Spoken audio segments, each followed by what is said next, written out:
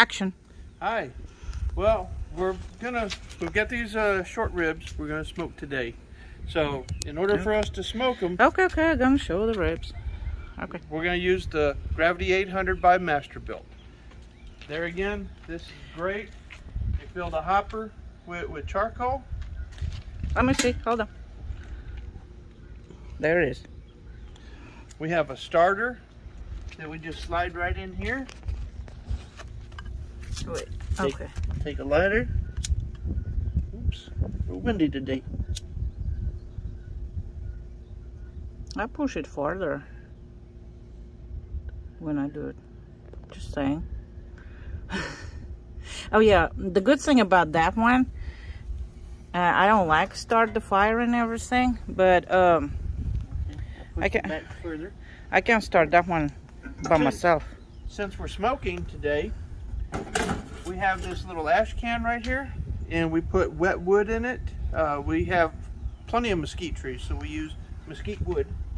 And we just put this in here, and then as the charcoal burns, it drops into the ash can, ignites the wet wood, and that's what creates the smoke. See, we've already got smoke starting to come out. You can use dry wood if you want to. Okay. So it has a it has a sensor here and a sensor right here. So when these are closed, it turns on the fan right down here and it forces the smoke Oh, there's fan. and it forces the smoke from here into the grill area. So we'll go ahead and it looks like our stuff's already started. I'll say give it another minute just in case. But Well, yeah, it does look pretty good. Close that lid, big big one. I was going to show them the smoke coming through. Well, the thing Oh, is, and it also has a sensor too. right, that, that's why temperature is not coming on because uh, it's not gonna kick in till if it's open. It's all safety precautions because when you have all this wind circulating, fire is usually flares up more, right?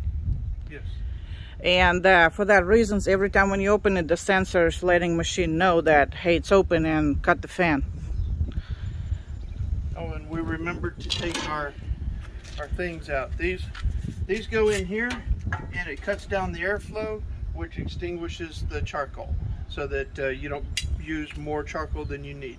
So you can fill this hopper up as full as you want. No, it recommended that only fill it up on about one third, maybe half. Oh, I usually fill it up. See, read instructions. I don't read instructions. I read instructions. I like to read. I read instructions. It has like two two lines right there.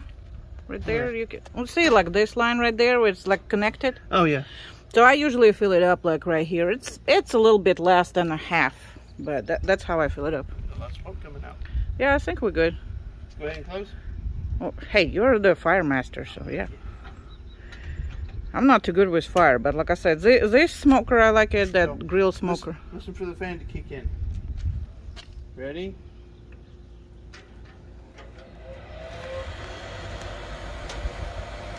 Yep, there it goes.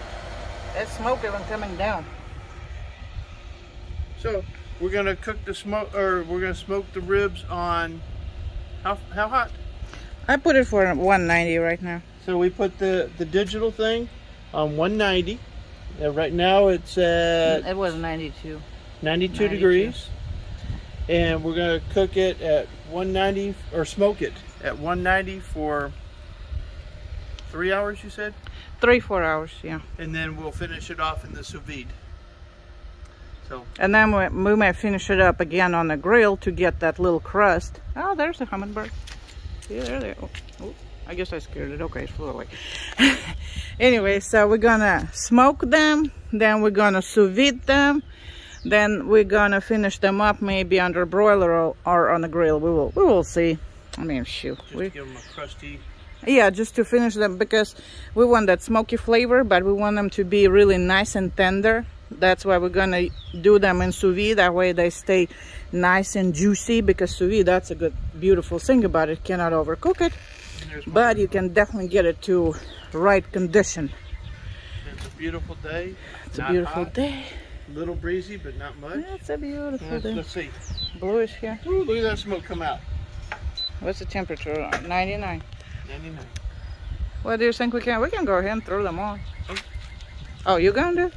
No. You can do it if you want. Just, if I will be yelling, don't be surprised. Put them right there, because you have a lid. I was gonna ask you if we, ah, get the, get the tongues. You letting smoke out? I'm trying to warm it up. Don't open the lid. See, I'm already yelling. Yeah. Don't let heat out. Ah, bone down. Turn them. Here, why don't you do this? Okay, let me do it. Let me do it.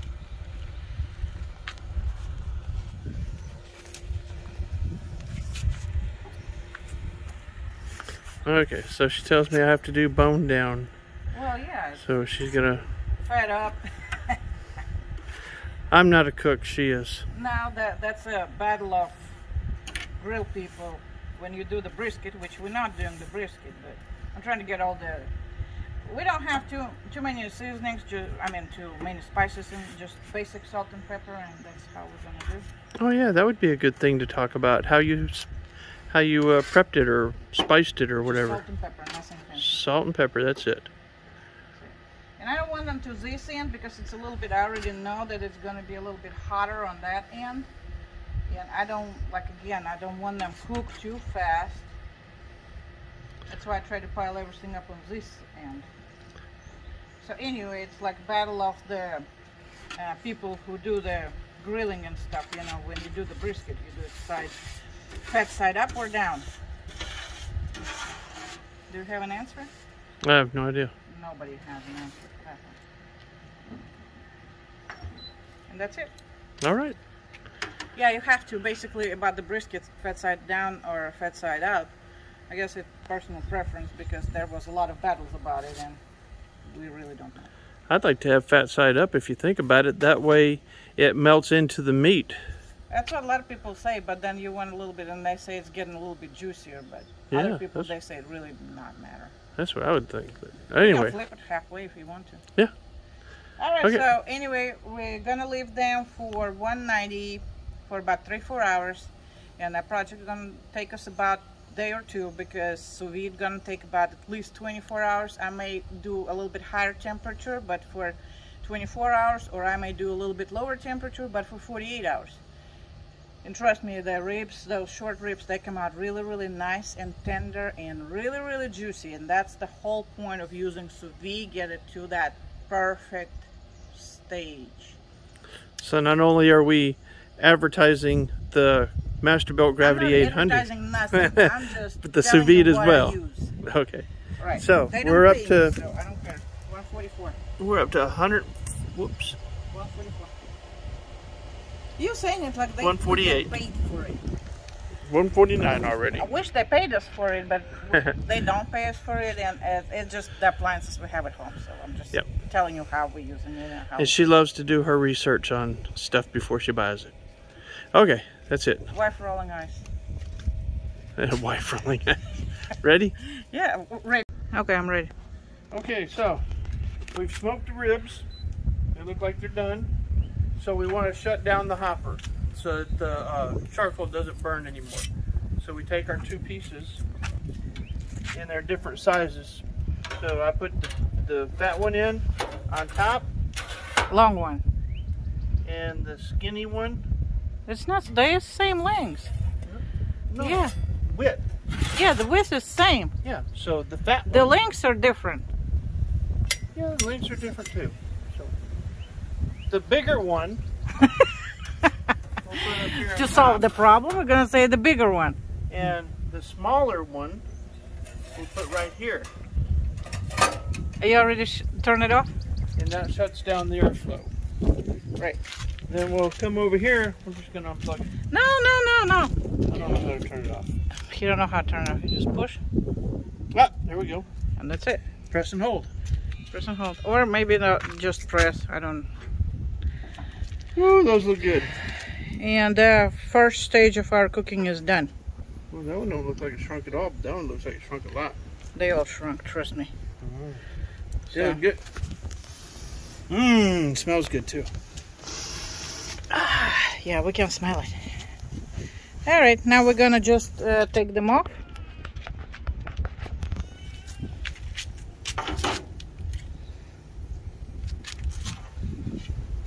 You want me to do it? See, that's how they look. And next stage, next next stage gonna be sous vide.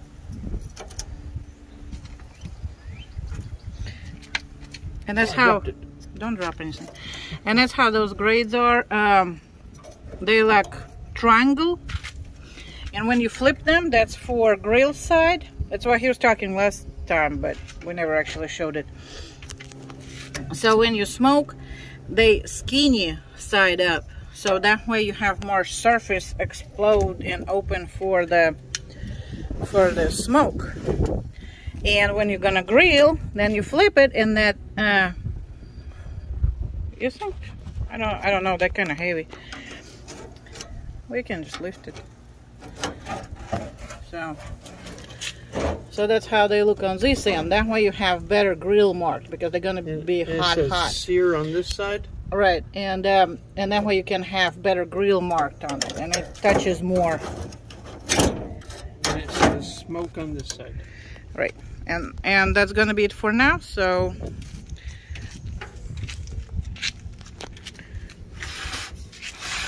that's that's how it looks for now. But we still have two more steps to go. You're ready, right? Okay, so um, after we smoked the ribs, I went ahead and put them in a vacuum bags and we're gonna split it in three dinners. So they all will be ready for dinner later. But first, we're gonna put them in sous vide. So we have our Anova precision cooker container and we're gonna cook it on 132 degrees for 48 hours because I figured tomorrow and after tomorrow we have to work and that way we can have dinner ready well one of the dinners ready Tuesday evening and two others will be ready and it will be really quick finish up. Now we just place the bags in here. I put the rack on the bottom. Water is a little bit warm a little bit now Sometimes when meat cooking, it releases the gas, especially pork. Beef, not so much, but sometimes they still float. I don't want them to float. And we're gonna use chains. Yeah. That's like stick stuffer. I'm just gonna put it right here on top, so that way they definitely don't go nowhere. Now we're gonna put lid back. And we're gonna leave it for 48 hours plus minus couple hours. The good thing about sous vide, it's not gonna overcook and it will be ready when I'm ready. So that's the good part. And like I said, I put rack on the bottom, uh, on the bottom. That way circulation, water goes all around the place. So it goes on the bottom, on top, and water goes all over the place. And chain gonna keep it down.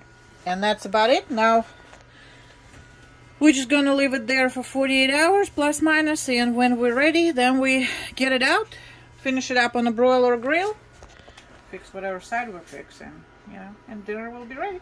That's it for now. Does that goat on the other side? all right uh what goat on the other side of the fence? Way out there. i don't see. I don't see the goat on the other side of the fence i don't know they two standing right there i think i know what you're talking about Yeah, I think one's on the other side. Oops, wrong way. It's, yeah, it's actually very, very possible. I think she's on the other side. Oops. I think she is too. But video is not about the goats. So we cook, we smoke the beef, then uh, short ribs. Then we cook them in sous vide for 48 hours at 132 degrees. Well, actually it was about 50 hours because by the time I made it home from work and everything. And now we're finishing them up on the grill. I don't have like flames coming up, but still, they already I mean, they got a little cold, so they will be fine just by warming up on the grill. And then I'm gonna flip them a couple of times, finish them up. And then we're gonna cut it and see what happened. But it's that's gonna be just just oh yeah, we're doing it on small grill because it's gonna be just dinner for right now. And that's why we don't wanna light up the big one, but we usually cook like dinner for now on that little bitty one. I like this thing, so works great. And now I'm just gonna cook them a little bit, like a few minutes here, a few minutes there, flip them a few minutes and that's gonna be it. And that's gonna be done. And I'm gonna show how they look when they're done.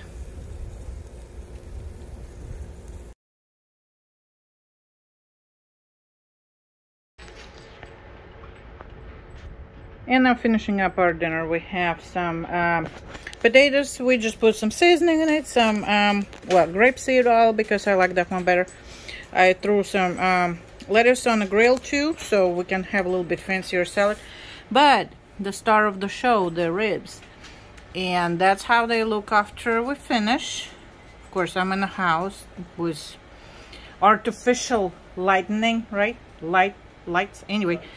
But, um, I cut it, just sliced it a little bit so we can see. And see, sous vide, that's, that's the trick.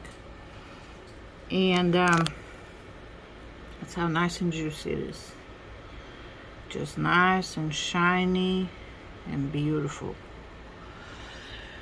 Ah, and we finished it like I said we finished it just on the grill just a little bit. So we're gonna go eat and enjoy ourselves. I don't think do you want to do like test drive on a you can have that little piece I cut off. No, that's okay. Okay Mike don't want to be a star and I will be honest with you I came home from work and I'm a little bit well been cooking for a couple hours because I was waiting for him to get home and I'm a little bit starving and so we're gonna go eat. But that's how it looks